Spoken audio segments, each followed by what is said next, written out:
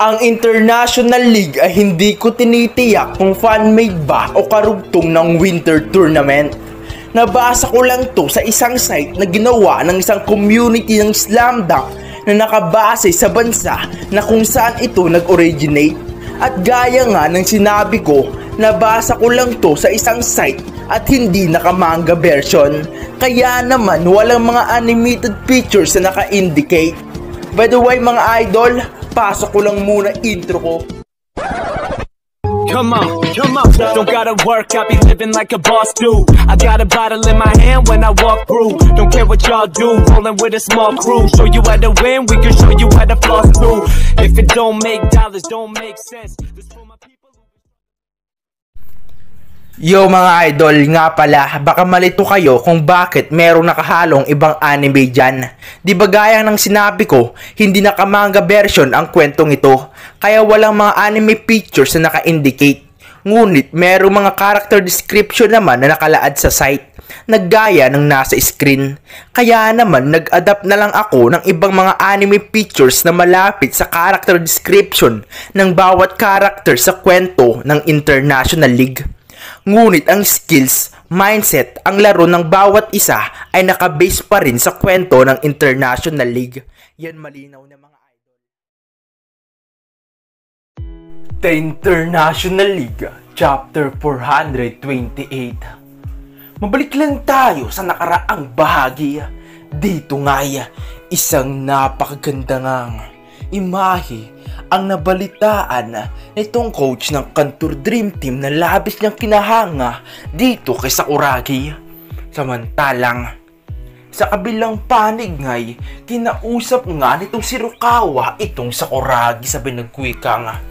Sakuragi, patungkol dito kay Melchor. Alam ko kung anong klaseng manlalaro siya. Minsan ko na siyang nakalaro. Oo, Pagkatapos nung laro natin nung natalo tayo sa kainan, ay naimbitahan ako sa isang liga at nakalaro ko siya. Hindi lang basta nakalaro. Talagang duelo ang aming laban. Isa lang masasabi ko sa iyo. Ang pisikal na lakas na pinapakita niya ngayon ay hindi pa yun ang kanyang tunay na lakas. Ang kagalingan niya sa loob ay hindi pa yun sa pangalawang yugto panigurado ay pipigayo ng gusto't papakita ang kanyang tunay na galaw. Wika nga nitong si Rukawat dito'y ano? Tama ang pagkakarinig ko. Kilalang kilala mo itong si Melchor. Ang ace ng kalaban at kapitan nila. Tama ang Rukawa. Nakalaro mo ba siya sa isang liga? Tama ba ako ng rinig? Wika nitong si Aya ko na biglang sumabat. O tama ka Aya ko nakarano ko na itong si Melchor. Siya ang kapitan rin ng grupo na kung tawagin na ay White Angel. Siya ang tinaguriang toro ng grupo sapagkat napakahusay niya. Nung naglaro kami, ay tinalo niya kami ng gusto at dinumin na ang loob at nag-score nga ng 53 points. O hindi ako nagsisinungaling, tama ang lahat ng linalahad ko. Wika nito nga. Si Rukawa kaya naman dito ay kahit ano pa, kahit sino pa yung Melchor na yan, kahit umiscore pa siya ng mahigit sa limampo, isa lang tinitiyak ko, sasabayan ko siya at kahit na ibigay niya kung ano ang hanap ko, panigurado, hinding hindi ko siya didismayahin na laban ang gusto niya. Bes, bakbaka nang ibibigay ko. Huwag kang magalaro kawa. Nagtitipid rin ako. Wika nitong sa uragit dito'y. O siya, magsisimula na ang pangalawang yugto ng laban ng to. Dalawang kupunan, St. Alban at Yuhuku High School. Pumasok na kayo dito sa loob ng court at sisimulan natin ang pangalawang yugto.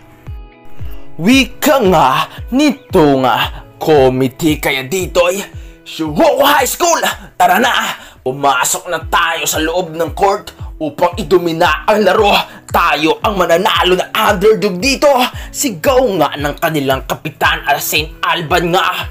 St. Alban matatag. Halina, patunayan natin sa kanila kung sino nga ba ang tunay na underdog dito. Ang tunay na banta sa Antor Dream Team. Pipigyan na tayo ng gusto dito. Tambakan natin yung mga yan. Sige na, drugi ng Shuhoku High School. Wika nga rin ng kapitana na si Milchor kaya dito nga ay Ayan na! Magsisimula na ang pangalawang yugto! Ang bakbakan ng dalawang underdog ay magpapatuloy! Sige! Shuhoku High School! St. Alban High! Pakitaan nyo kami ng solidong laban! Pakiusap! Sigawan ng mga tao kaya naman dito nga Nakakaramdam ako ng kaba, inaamin ko. Itong si Rukawa ay minsan lamang pumuri ng malalaro Ngunit nakikita ko sa kanyang mga mata ang pangamba, ang pangambang baka durugin ako nitong si Melchor. Alam ko, malakas itong may pulang buhok na to. Ngunit sasabayan ko to.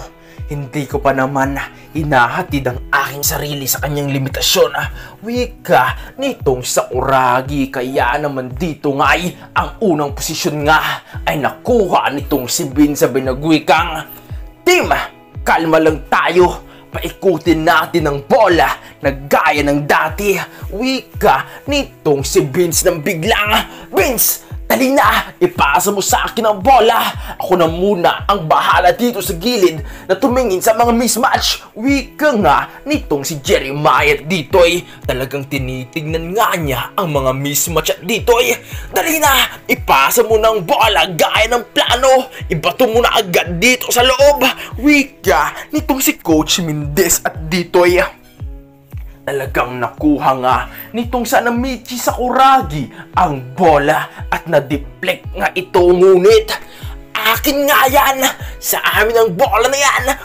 Wika nitong si Melchor sa bahay. Hatak nga ng bola sa mga kamay nitong Sakuragi. Itong Sakuragi ay hindi nga nakaimik at hindi nga nakagalaw.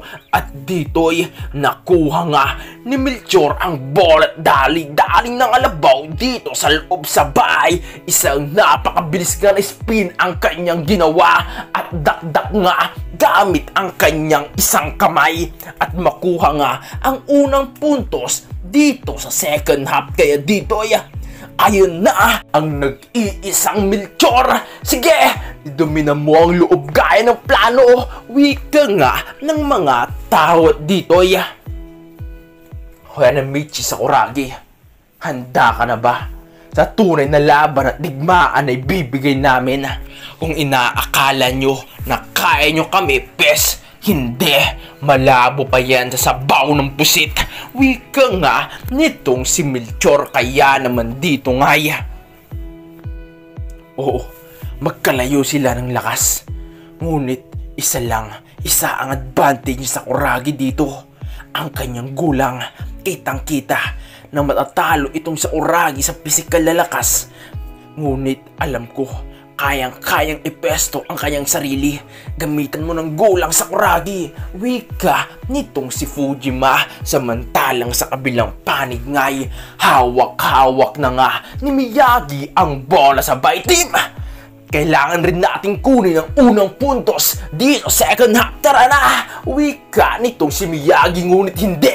Hindi mo maiset ang bola. Hindi kita bibigyan ng isang malinaw na set. Wika nga nitong si B Dali-dali naglateral defense kaya dito ay Dali na! Ipasa mo sa akin ang bola! Ako naman ngayon ang bahala dito!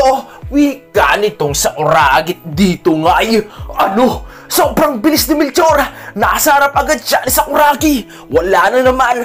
Kuha na naman ng may pulang buhok na kalaban ang bola! Malas naman ito! Wika nga nitong si Aya ko at dito nga ay masyadong mabagal ang pasa. Ano ba naman yung ginagawa nyo? Gugulatin nyo ba kami o kayang gugulatin namin? Wika nitong si Melchor at pass break nga at easy points nga para sa kupunan ng St. Alban High upang ibaba ang kalamangan sa isa sa score na 56-55 pabor pa rin sa kupunan ng ating mga bida kaya naman dito ya yan na Naglalabas na ng tunay na lakas itong si Melchor. Ang gulang nitong Sakuragi hindi sasapat. Sa bilis, talino at lakas ng katawan ni Melchor. Ano kaya ang planong gagawin mo yan sa Kuragi? Kung wala kang ilalabas na alas panigurado, durog ka at durog ang buong Shihoku. Wika nitong si Murasame. Ano kaya kakalabasan ng labanang ito? Ang lahat ng yan ay bangan natin susunod na bahagi.